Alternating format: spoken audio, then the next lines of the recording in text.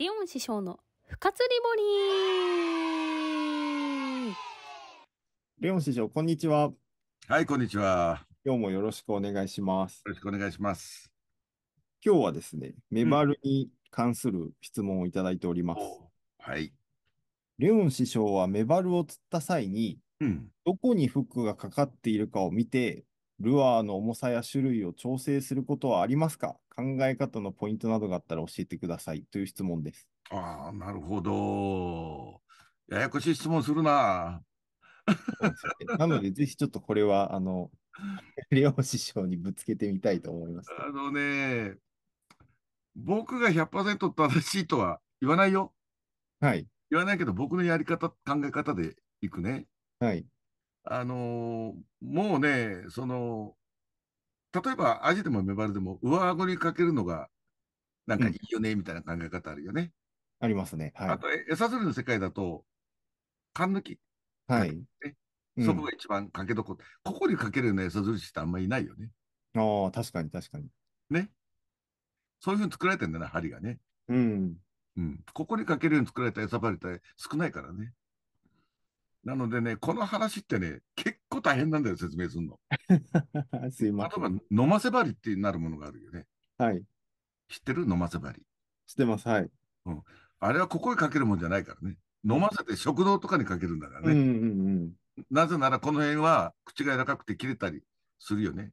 はい。アジとかキスとか。特にアジ飲ませ針って有名だからね。はい。うん。そうすると、このフックの形状も問題だったりするわけ。うん。だからそういう意味で、えー質問者の方が聞かれたように、その、ルアーやフックサイズを考えたりしますかって言われれば、考えたりすするのはする。うん。だけど、あの、よく、ね、X なんか見てたら、下顎ばっかりかかる。はい。あるいはアジだったらなかなか上顎ヒットせずに横にばっかりかかる。うん。えーだから、ああだこうだっていうふうな、こう、ことが書かれてるのを見見るたびに、うん。えっとね、大多数で僕は大体ぎ、いうんって、うんってなる。あれって、違う、けどな、でも違うのが分かんないのは当たり前なんだよね。うん。こんなもん体験しない限り分かる世界じゃないから、うんやっぱり何より重要なのは経験値なんだけど、だただ経験するまでに、あ、そんなことが当然あるよねという、その物理的な、えー理論解説からね、始めましょはい。お願いします。う。餌針とジグエイト何が違うか。うん。ジグエイトは針が上向きついてんだよ。はい。で、引くと、ほとんどのジグエイトがこうやってくるわけじゃん。うん。あ、こっからの説明、ちょっとこのちっちゃい画面じゃ難しいので、大きな画面にしてから説明しますね。お願いします。はい。ちょっと服の色が白くて見にくいかもしれないけど、ジグヘッドは針が上向きになります。ほとんどのジグヘッドがそれを作ってあります。で、ラインに糸結んでリトリーブするとずっと上向いてくんだよね。うん。だから、上顎にヒットするのがごく当たり前のようなイメージがまずあるよね。はい。ここでね、一つ見落とすことがあるんだよ、釣り人はみんな。なんかちょっと硬い紙を用意しようか。これは魚の口だと思って。はい。ビューってワンムーついたジグエットが言ってます。ガバッと飲みました。はい。ずーっと針が上向いてるかどうか。うんうんうんうん。倒れるよね。そうですね。加えますからね。加えたら倒れるよね。はい。倒れました。で、魚がこう反転しました。はい。その時に、アングラが、こっち向きにパンと合わせると、魚はこっち向いてんだよ。わかりにくいかな。パンと合わせると横にかかんだよ。はい。横にかかってる。缶抜きのところっていうことそう。です。はい。はい。同じことやりますね。フック上向いてます。加えました。口閉じました。こっちに倒れました。先ほどはこう魚が反転したんだけど、魚が反対向きに反転しました。はい。その時に、アングラがこう、フッキングしたらどこに立つかったら、あ、これ自分で実験したらわかるけど、上に抜けるんだよ。うーん。うん、これ、今の僕の説明のこの絵柄を見ててピンとこないかもしれないけど、ね、こう倒れた魚をこう反転した。それをこう右に合わせると、当然横にスパッと入るんだけど、この状態を左に合わせたら何かしたらお起き上がっていくんだよ、針が。うーん。こう。だからこうやると上顎に立つんだよね。うんうんうん。ってことはさ、ジグヘッドに対して魚がこっち向きに加えてこう反転するのか、こう反転するのかで、刺さる場所変わる。うん、確かに。うん。で、い加えて横に寝たフックを、に対してパンって入れた方向がある方向だと今度は下顎に刺さるんだよ。うんうんうん。こうなってるもんだ向こうへ向かってフッキングした場合と、こっち向かってフッキングした場合と全然刺され方が変わるの。うんこれね、ぼ今僕、残念ながら言葉でうまく説明できてないんだけど、あの皆さんやってみて、こう、筒作って、これ、でかいから難しいんだけど、普通のメバルフックとかでやったらわかるよ。うんうんうん。見事に横に刺さる場合と、反対向き引っ張ったら、カパーンと上に立つ場合とある。だから、魚の反転方向と違う。もしくは、いやいや、そうは受けてるよ、さん。ちゃんと合ったウェイトのジグヘッドで、カツンときたときやれば、もう90%ぐらい僕は上顎に立ってますよ。その場合は、魚が加えて反転してないんだよ。うん。だって、僕いつもそうですよ。それはあなたが釣りに行く？釣り場がそうだから。ドワーッと足元流れてる釣り場でやったら、そうはいかない。うん。あるいは、瀬戸内なんかさ、右から左の潮って決まってないからね。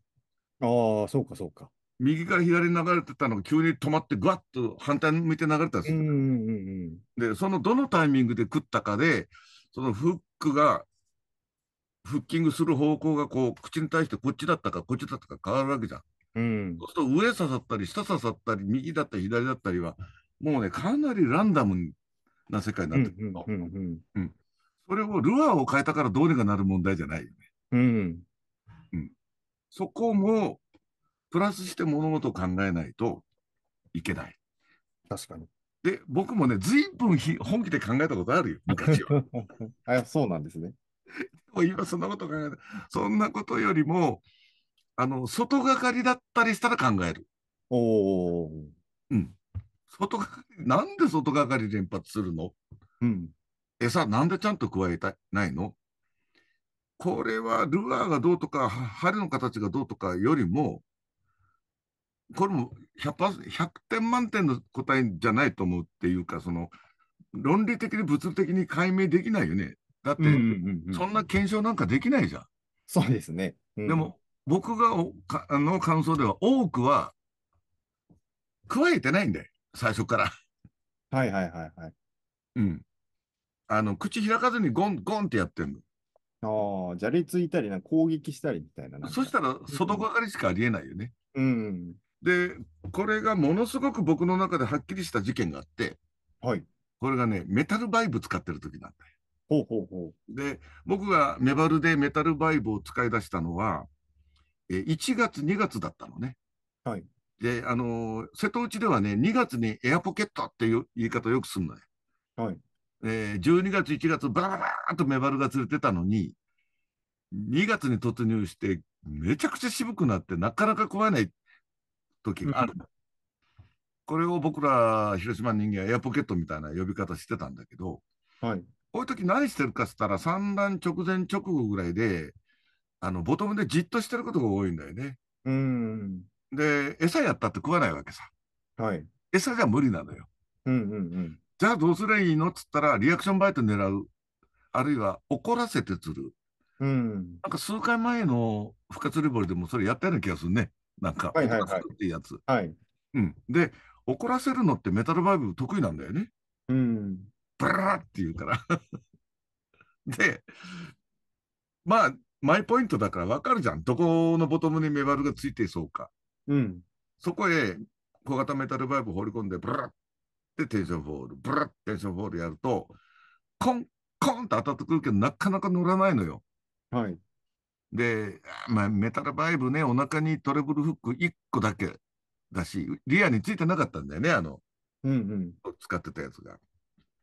だからフッキング悪いからアシストフックはどうなって考えてたんだけど、アシストフック打っても、フロントフックだろうが、リアのアシストフックだろうが、あの外掛かりでかかってくるのよ、よくメタルバイブ使うと。うん。で、気がついたのよ。なるほど。あれ、最初は食べようと思ってないから、うんうんブルース、ブルース、なんこいつゴーンってやってんのよ。うん。私、出産で疲れてんのに、もうやめてってゴーンって追い返してんだよ。うんうんうん。何回やっても来るから、もう噛むしかなくなるわけ、最後は。うん。で、ようやく口の中入って釣れる。だけど、えーやり始めは本当にね、外掛かりが多かった。口の端っことか外とかね。うんうんうんだか。ら、あの、外掛かりの多くは、僕は、あの、食べようとしせずにヘッドアタックしてんだと思うの。頭突き。うんうん。だからそういう時には考えますよっていう話。なるほど。これは食性に訴えてもダメだなと。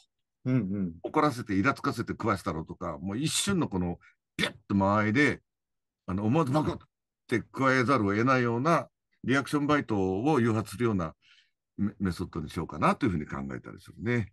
うん。うん、あとやっぱりその、特にジグヘッドっていうのはウエイトがついてて、フックが上に立つように、で、ラインアイがあるように、餌の針とは違う作り方してあるので、結構ね、アングラ側のコントロールが効く釣り針でもあるのね。うん、なるほど。うん。で、やっぱりね、はあこのウエイトがついた針の物理特性をね、ちゃんと覚えなきゃならないよね。もう、小学校の時にみんな習ってるはずなんだよね。視点、力点、作用点っていうのを。はいはいはい。てこの原理で。そうそうそうそう。うん。だから、フックによっては、例えば、まあ、アジンク界では流行りのこう、オープンゲームのものもあるし、うん逆に針先がこう内側向いてる、眠ってるとも言うけどね。うん。眠り針みたいなものもあるし、それぞれの特性があるし、ここのラインを結ぶところの愛が上まであるやつと、はい。特に低いやつと、で、全部刺さり方、かかり方違うよ。うんだ。から、このタイプでかかりどころが悪い、悪いのが続けば、少しここのクランクがこう高いやつ選ぶとか。うん。あと、一般的によく勘違いするんだけど、アジを釣るのに横口入ったらバレ、えー口切れしてバレることが多いから、飲ませてロングシャンクでかけましょうっていうのがあるよね。ああ、ありますね。でロングシャンクの方が、あの、かり奥へかかるっていうイメージがあるんだけど、意外にそういうことが言えなくって、ほうほうほうん。逆にショートシャンクだったら、ここのど真ん中にかかることが多いこともあるんだよ。う。ああ、あの、硬いところに。はい。理屈が分かんなかった、俺最初。どうしても。んんあのね、具体的な銘柄で言うと、ジグヘッドタケちゃんだったんです、それが。うん。ああ、はいはいはい。うんで、ね、このライトゲームの入るの頃に、広島アングラーの誰もがすごいフックだって使ってたのが、ガマカツさんのコブラ、はい。うん、コブラ17だったっけ、19だったっけ、やっぱはい。コブラというジグヘッドね、ココブラ19か。がすごくよくて使ってたんだけど、やっぱりアジ釣ってて、えーなかなか上顎をヒットせずに横へ入ったりすることが多いのよ。うん。で、その頃にもうあのバタバタっといろんなメーカーさんが出されて、そのうちにこうロングシャンクのジグヘッドなんかも出てて、うん。ロングシャンク使うんだけど、やっぱり似たようなもんなんだよね。うんうん。で、友達がね、カクさん、ジグヘッドタケちゃんって知ってる誰やそれって。誰やそれだね？最初は、たタケちゃんって誰？って。いや、武田栄さんっていう人が作ったスミスのジグヘッドでって。へえって、これがね、めちゃくちゃいいんですよって言うけ言うから、その、あ、そうなの？つって、二人でうんメバル釣り行ったり、アジ釣りししてて、すごいなと思って気がついたのが、適当なことやってても、バチッとここに刺さるのよ。おー。ジグヘッドタケちゃん使ったことある人なら知ってるけど、すごいショートシャンクなの。うんうん。うん、この愛の位置の問題があるのね。重りに対して愛の位置が後ろにあるやつはショートシャンクになるよね。はい。これを、愛の位置をこの前につける。例えば、尺ヘッド。はい。尺ヘッドは進化に対してずーっと前の方に愛がついてる。うん。だから、あの、そんなにショートシャンクじゃないけど、あの、同じ針をこの位置まで相持ってきたら、めちゃくちゃショートシャンクになるよね。わかるかな？これ距離の話。はい。ジグエットタケちゃんも割合後ろに来るね、愛が。うんうんうん。だから、当然ここが短くて、結果的にショートシャンクになってるんだけど、なぜか、タケちゃんの時だけ、ここへ来るんだ。9 100%近く。アジのここへ。おー。もうね、悩んだね、帰ってから。なんでショートシャンクのタケちゃんだけが上上ヒット多くて、いいかにもその奥へしっかりかかりそうなロングシャンクの方が逆にダメなんだろうっていうのは、まあそのウエイトと針の長さとのバランスであったり、さ最初に言った視点力点作用点の問題で、えーいろんな場所にかかる。あと倒れやすいフックと倒れにくいフックもあるよね。ああ、そうですね。タケちゃんってショートシャンクかつ三角でそこがひ面積広いんだよね。うんうんうんえ噛まれても倒れにくいんだよね。うん。うん。あと、このゲーブ幅がちっちゃいほど倒れないよね。ああ、そうですね。うん、でかいほど倒れやすいよね。うん。そこも作用するよね。うん。なので、本当にね、あの、力学の基礎的な勉強をすると面白いですよ。針っていうのは。カワハギ針はなんであんな格好になってんのかとかねうん。うんうん。あれはね、カワハギ針なんてのはね、本当にね、ショートバイトが多いアジングメバリングの時でも、実はカワハギ針でジグヘッド作ってごらんって言いたくなる。めっちゃかかるから、不思議なことに。なるほど。うん。そんな発想必要じゃん。そうですね。うん。で、僕はそこまでしなくても、あの、コブラ29、あ、29だよ、思い出した。ガマカスのコブラ29があれば、何もいらないねぐらいなの、実は未だに。あるいは、ジグエットタケちゃんでいいじゃんとか思ってる。うんうんうん。まあ、今、コブラ29もジグエットタケちゃんもほとんどないので、尺ヘッドでいいじゃんになってるけどね。なるほど。つまりうんつまりこだわらなくなった。そうだな。あとね、今、目の前にちょうどあったから。お竹場所かかりどころの話。はい。これが、視点、力点、作用点を皆さんにか単純に理解してもらうのに、非常にわかりやすい。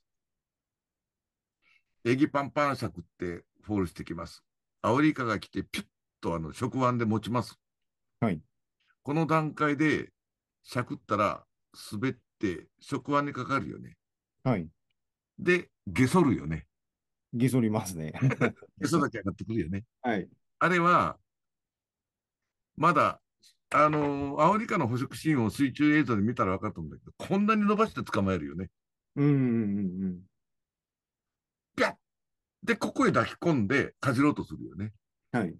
だから、アオリイカのフッキングで一番大事なのは、捕まえた瞬間にパーンと底合わせっていうのは、あの、げそる確率高いから、この触腕2本でピューッと抱き込んで、その後アオリイカ何するかと、残った足でこう掴むよね。はい。で、ガジガジ。このタイミングでかけるのが一番いいよね。うんうん。はい。で、面白いことがある。こんなことを考えながら、イカ釣りいっぱいしてたら、あることに気がつく。ここまで抱き込みました。はい。たくさんの足で。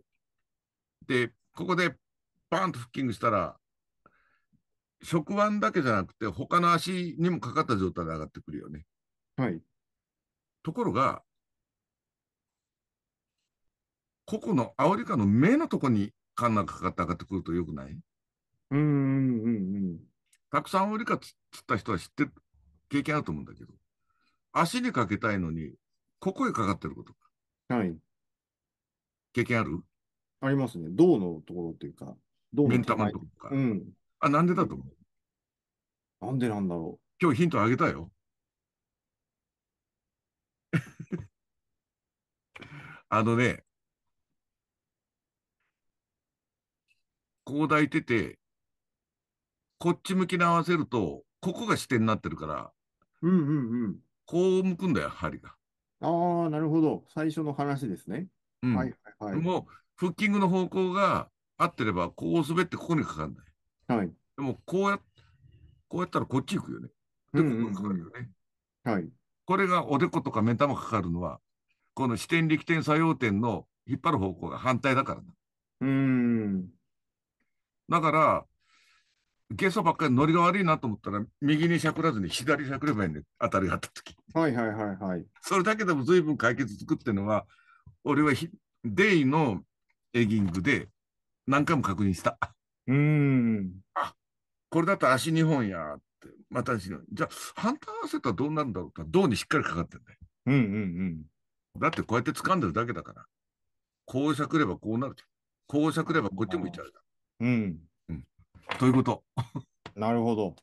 うんだからもう単純にそのメバルでジグヘッドであ上顎下顎うんぬんかんぬんよりもやっぱり釣り道具のこの針に関わることはもううん視点力点作用点という力学がベースにあってどんな形の針使ってるかエギという形の針だったらこんなに動いちゃうんだよね。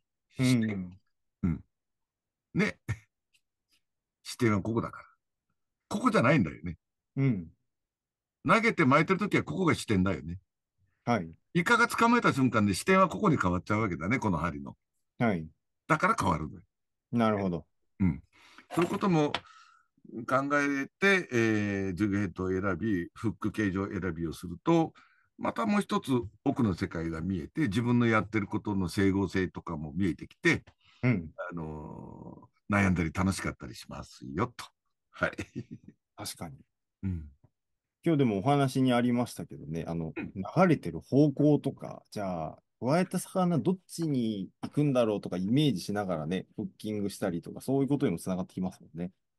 そういい今のキューベの話もすごくいいアシストだと思うの。あの魚がどっち向いてるかをわからないまま釣りしてる方も結構見受けます。うーん。特に瀬戸内の堤防なんかでメバル釣ってる時には明らかに潮流の方向決まる場所もあるわけじゃない。うんうん。魚がどっち向いてるかを全く考えずに釣りをするとうまくいかないです。そうですよね。うん、常にそこも考えなきゃいけないね。マゴチとかヒラメとかフラット釣るときもね、大事ですよね。考えますよね。フラットそこ難しいね。うん。うん、流れの中でホバリングしてないからね。そうなんですよね。ね。きっとだからこっち頭向いてるんじゃないかなとかね、考えながらやるのが上手い人だなと思っていつも見てます。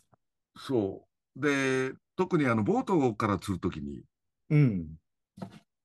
ボートが流れていく、うん流れていく、反対方向に投げるのと、流れていく側にキャストしてるのじゃ、巻きスピードから、ルアーのそうだよね速度からうん全部変わるのを、自分が動いて動いてないから動いてないと思い込んで釣ってる。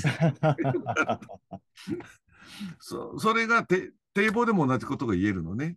うん。中の水は動いてるのに、あのその状態に一番アジャストできるような竿の方向であるとか、縦に合わせた方がいいのか、下に合わせた方がいいのか、うん。そういうことでキャッチ率ってのは大きく変わるし、えー今日のお題の一番最初の問題だけど、どこにかかるかまで下手すると決定づけられちゃうので、確かに。うん、その辺の想像力とうん観察力をね、いかに鍛えるかっていうのもね、釣りの楽しさだと思いますよ。はい。ありがとうございます。いろいろと、あの、技術的なところからイメージの仕方まですごい深い話になったってよかったんじゃないかなと思います。はい、うまく説明できたかな？大丈夫だと思います。はい。じゃあ視聴者の皆さん、今日の話が役に立ったよとか面白かったよっていう方は、ぜひグッドボタンと、あと、レオン師匠に聞きたいよっていうことがあったら、ぜひコメント欄までよろしくお願いします。あとあ、チャンネル登録も。はい。はい。あの、ご質問に関してなんですけど、えっと、ここ最近ちょっとご質問の数が少なくなってきたので、えー遠慮せずに改めてですね、えーこの動画のコメント欄へご質問どんどん書き込んでください。よろしくお願いします。よろしくお願いします。じゃあ、レオン師匠、今日もありがとうございました。はい。ありがとうございました。じゃあまたね。